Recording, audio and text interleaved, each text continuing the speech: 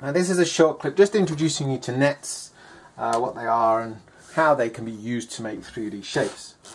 So a net is well really a, just a two-dimensional sort of plan of a 3D shape uh, which can be then folded up and makes to create the 3D shape.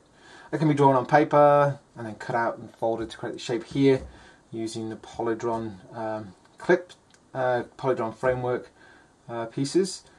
Uh, so here we have uh, a triangular based pyramids net. So, and all I need to do is I just need to fold the pieces together and there we go. I have a triangular based pyramid. Pull them apart again, unfold them and I get, if I don't break it apart, I get my triangular base pyramid net. Now, you have a variety of nets. This is the net for um, a triangular prism. Uh, so if I fold this up, this will also create me a, a 3D shape. As I said, this time creating a triangular prism. Now with prisms there are certain rules that it has to be if it wants to be a prism. Uh, so with the prism uh, we have this base, the front base and then the back base are well exactly the same shape. If it's a regular prism all the sides and the angles will be the same size. If it's a regular, the sides will be different sizes, uh, sorry, the sides will be different sizes and the angles will vary as well. So the two bases, the front base and the back base need to be the same.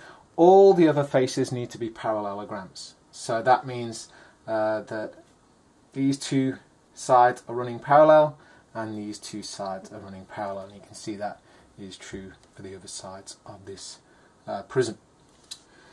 Now needs to, you need to know that all shapes uh, can be made from a different nets. Like there's not a limitless supply. There's a cube can be made out of eight different shaped nets, and this is one of them.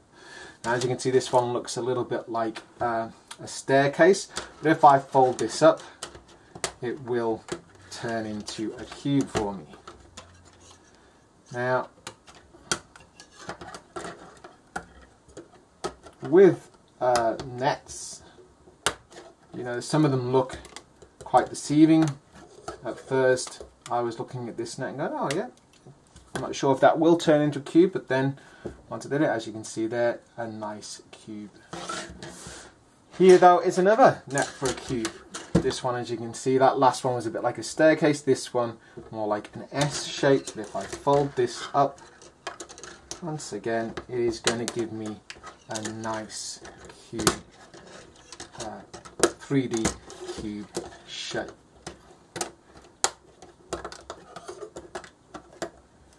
So as you can see, a net two, di two dimensional plan and then you fold it up and it creates a nice 3 dimensional shape for you. Once again, another net for a cube. This one more of a cross shape.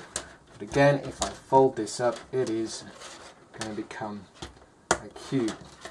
So the basic premise is that a net, when folded, will turn into a 3D shape. Now, obviously you're going to practice this yourself, but maybe it's quite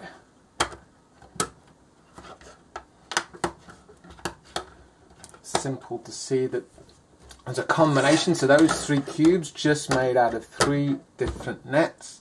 But as I said, for a cube, you can actually, there's eight different nets, so it might be interesting to see if you can find some of those uh, yourselves.